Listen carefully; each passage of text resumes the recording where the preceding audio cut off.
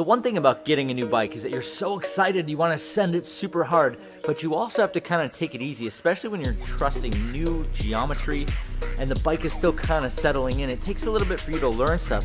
Where you put your balance point, where you lean back, where you lean forward, it all changes when the bike is longer, lower, higher bottom bracket, whatever.